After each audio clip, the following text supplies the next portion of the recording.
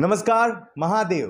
देखिए मेरे साथ इस समय कौन बैठी हैं? निकिता भारद्वाज। और ख़ास बात यह है कि इन्हें आपने देखा होगा पियर फराक वाली। अब भी गाती हैं?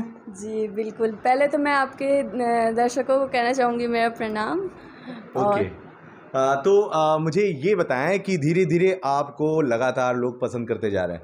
व्यूज़ के मामले में गाने ने बहुत सारे रिकॉर्ड्स बना दिए हैं। और मैं तो बिल्कुल ये भी कहूँगा कि मेरा भी फेवरेट सॉन्ग ये बन चुका है। तमाम दर्शकों का भी बन चुका है। इस गाने के रिलीज़ के बाद अब क्या कुछ बदल गया है आपकी ज़िंदगी में, ये बताएँ। इस गाने के बाद ज़िंदगी में बहुत कुछ बदल गया है। पहले लोग सिर्फ़ निकिता भारद्वाज के नाम से जानते थे लेकिन आज के डेट में निकिता भारद्वाज कम और पियर फराक वाली ज़्यादा लोग जानते हैं। वैसे आपका फेवरेट कलर कौन सा है? येलो येलो आज लेकिन इन्होंने येलो नहीं पहना है। हाँ वो मुझे सब लोग अच्छा रोज रोज थोड़ी पहन सकते हैं। ओके सो गाइस निकिता के बारे में जानते हैं। कहाँ से हैं? और uh, क्या कुछ अब तक कर चुके हैं? थोड़ा सा अपने बारे में बताएँ। मैं बलिया की रहने वाली हूँ और अभी तक में मैंने बहुत सारे एल्बम्स किए हैं जिसमें से सबसे ज़्यादा हिट एल्बम जो रहा है वो पियर फराक वाली रहा और आगे भी बहुत सारे ऐसे एल्बम्स आएँगे जो हिट पे हिट देंगे। हिट पे हिट देंगे। पियर फराक वाली गाना आखिर इन्हें कैसे मिला ये जानने की कोशिश करते हैं। किस तरह से शामिल हुई आप इस गाने में? कैसे आया प्रपोजल आपके पास? पहले तो मुझे कॉल आया रत्नेश जी हैं एक मेरे मैनेजर हैं। उनका कॉल आया उन्होंने मुझे पहले बोला कि निकिता अब मेरा फ़र्स्ट एल्बम था तो मुझे कोई आइडिया नहीं था कि इतना जल्दी पवन सर के साथ एल्बम कैसे पियर वाली आपका फ़र्स्ट एल्बम है? अभी तो आपने कहा बहुत सारे करे ना कुछ? नहीं तो उसके बाद की हूँ। पियर फराक वाली के बाद आपको बहुत सारे गाने मिले। वाह इट्स वेरी गुड यार। तो कैसे फिर क्या बात हुई? हाँ तो उन्होंने बोला कि सर का एल्बम है आ जाओ निकिता पटना में बोली बक आप झूठ बोल रहे हैं। मैं सोई हुई थी तो मैं ऐसे नींद से जग गई। मैं बोली कि नहीं आप झूठ बोल रहे हैं। तो बोलते हैं नहीं सच में फिर ऋतिक जी से बात करवाए वो। तो पता चला कि हाँ एल्बम हो रहा है। फिर मैं बहुत ज़्यादा एक्साइटेड थी बहुत ज़्यादा नर्वस भी थी कि मतलब कैसे क्या होगा? मेरा फ़र्स्ट एल्बम है तो इतना जल्दी मतलब कैसे मैं सक्सेस हो सकती हूँ? और अ, ये इनफैक्ट उसको शूट करने के बाद भी मैं ये था कि अरे नहीं उतना नहीं मैं क्या फ़र्स्ट टाइम आई हूँ इतना हिट थोड़ी होंगी।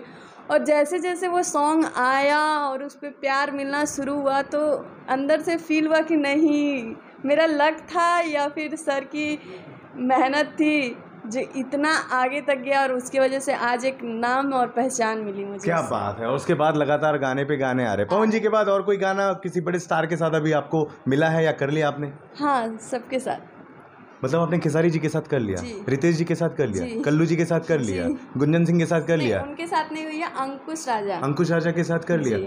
अब बचे ही कौन है? अभी और तो बहुत सारे हैं वैसे लेकिन top five and top ten की बात करें तो ये सारे फ़िल्में मिली। एक ऑफ़र हुई थी मूवी खेसारी जी की मूवी है। उसमें मेरा छोटा सा एक रोल है वो बहुत जल्द आप लोग को देखने को मिलेगा। वाह देख रहे हैं आप। मज़ा आ गया मज़ा आ गया बहुत। फ़र्स्ट टाइम बताया है ये सबके लिए सस्पेंस था बट आज मैंने बोला कि नहीं ठीक है। अब कंट्रोवर्सी जैसी बातें भी तो नहीं रहेगी। भाई पवन और खेसारी ने एक दूसरे को गले लगाया चुम्मा चाटी करी है। कितने दिन चलेगा ये दोस्ती आना? मुझे नहीं पता लेकिन फ़िलहाल मार्केट एकदम शांत है बड़ा मज़ा आ रहा लोगों को देखकर। निकिता मुझे ये बताएँ कि पवन जी के बारे में क्या क्या जानती थी आप उनसे मिलने के पहले? पहली बात तो मैं उनके बारे में ये जानती थी कि वो बहुत अच्छे इंसान हैं और पावर स्टार है और जिस दिन मैं मिली लोग बोलते हैं कि बहुत ज़्यादा खड़ूस है ये है वो है। मेरे साथ ऐसा कभी नहीं बिहेव किए। नहीं वो बच्चों से बच्चे अगर वो, अपना बचपना शुरू कर देना तो वो बच्चों से बच्चे हैं। सेट पे इतना हँसी मज़ाक एकदम ऐसा लगा नहीं कि मैं शूट करने फ़र्स्ट टाइम आई हूँ। एक फ्रेशर के लिए मतलब ये फील कराना कि नहीं आप इस फैमिली के मेंबर हैं इस इंडस्ट्री की मेंबर हैं ये फील कराया उन्होंने। Okay okay. पूरा दिन चला शूटिंग नहीं एक्चुअली मैं रात में शूट हुआ था। रात में ग्यारह बजे से शुरू हुआ और सुबह के छः बजे तक शूट हुआ।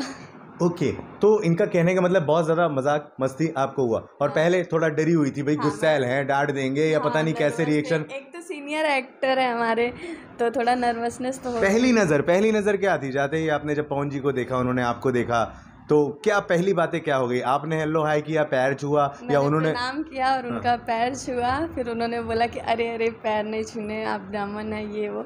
मैं बोली कि नहीं नहीं हमारा तो हक है हम आपके आप लोग से जूनियर हैं और आप हमारे सीनियर हैं तो इतना तो चलता है। तो फिर उन्होंने बोला अच्छा बैठा। मतलब भोजपुरी में बात करते बोला आओ बैठा निकिता कैसन बाड़ू? हम बोले बहुत अच्छे हैं सर। फिर बैठे उसके बाद बैठे हुए हैं और डर रहे थे कि क्या होगा क्या नहीं। ओके। तो अ, मुझे ये बताएँ कि कोई एक ऐसी अ, यादगार वाली बातें जो पूरा रात में कोई एक ऐसी बात जो उनकी बहुत ज़्यादा अच्छी लगी हो आपको? उनकी सारी बातें ही अच्छी लगती है।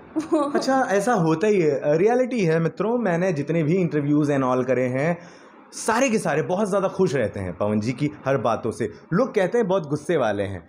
लोग आपको देखे नहीं है। नहीं देखे ना? नहीं। मिले नहीं। मिले नहीं है ना इसीलिए सबको लगता है कि वो गुस्से वाले हैं। लेकिन जिस दिन मिलेंगे ना उस दिन पता चलेगा हम्म। ऐसे तो नॉर्मली पब्लिक प्लेस में तो किसी को भी इतना ज़्यादा खुल के नहीं हो सकते हैं क्योंकि वो इतने सीनियर हैं तो एक होता है अपना लिमिट लेकिन ऐसे सेट वगैरह पे जाएँगे हम्म। और उनसे मिलेंगे तो आप मिल के खुद ही देख अगर आप कभी मिले होंगे सर से तो आपको पता होगा कि वो कितने अच्छे हैं नहीं बिल्कुल मैं उनसे बहुत बार मिला हूँ और रियलिटी तो ये है मुंबई वो जब भी आते हैं तो मैं उनके साथ रहता हूँ और मैंने इंटरव्यूज़ भी उनके बहुत सारे करे हैं तो मुझे ये बताएँ कि अब अब पवन जी तो ठीक हैं हो गया है काम। आगे क्या? अब क्या कुछ सोच रखा है आपने? पियर फराक से दूसरे भी कलर्स पर जाएँगे। जी ज़रूर जाएँगे। जैसे जैसे मुझे काम आएगा पवन जी कहेंगे कि आप पियर फराक से पिंक फराक पे आ जाएँगे तो वहाँ भी आ जाएँगे। यहाँ। चलिए ठीक है बहुत ज़्यादा मज़ा आ गया आपसे ये सारी बातें करके। लेकिन एक आखिरी सवाल जाते जाते मैं आपसे ये जानना चाहता हूँ क्या ड्रीम होगा आपका? क्या सपना लेकर आई हैं इस इंडस्ट्री में? क्या कुछ करना है आपको? कहाँ तक पहुँचना चाहती हैं? वैसे तो मेरा कोई मतलब सपना वगैरह अभी तक नहीं क्योंकि सपना देखना और उसको सच करना एक अलग बात हो जाती है। मैं चाहती हूँ कि मैं जो भी काम करूँ वो एकदम अच्छा हो ना कोई वलगर हो ना कोई जैसे आजकल के भोजपुरी इंडस्ट्री में हो रहा है उससे हट के मैं अपनी खुद की पहचान बनाना चाहती हूँ इस इंडस्ट्री में। ओके। जी। कोई एक ऐसी एक्ट्रेस जिसको फॉलो करते हों जिसकी बातें अच्छी हों उनके जैसा बनना है या उनसे बड़ा बनना है? वैसे तो बहुत हो गए हैं। एका का नाम बताएँ? वैसे तो मुझे सबसे ज़्यादा पसंद अक्षरा मैम है। हाय अल्लाह। पवन जी देखेंगे मेरा इंटरव्यू मैं आपको लिख कर देता हूँ हाँ? मेरे सारे इंटरव्यू देखते हैं वो। नहीं तो एक होती ना अपनी अपनी पसंद होती है हमारी आइडल है मैं रियलिटी है शेरनी है वो हाँ, शेरनी के नाम। से मशहूर है मेहनती है। एक गर्ल्स के लिए अगर एक गर्ल्स पावर कहें तो उनके अंदर बहुत ही है। सीखने मिलता है सीखने को मिलता उनसे सीखने को मिलता है उन्होंने इतना स्ट्रगल किया और खुद के मेहनत पे अपने आप को खड़ा किया है। तो इस चीज़ के लिए तो इतना तो बनता है लेकिन मेरी वो आइडल है और मुझे बहुत ज़्यादा पसंद है। और रही बात जैसे जैसे सब हो रहा है, वैसे वैसे आगे हो जाएगा। क्या बात है। I am agree with you actually Akshara Singh, शेरनी कही जाती हैं और कहीं ना कहीं अपने मेहनत के बलबूते पर बनी हुई हैं।